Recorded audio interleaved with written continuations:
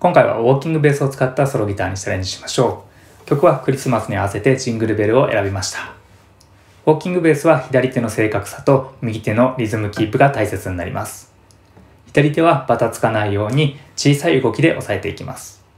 例えば1小節目から3小節目は人差し指を置いたままこの指を軸に弾いていきます。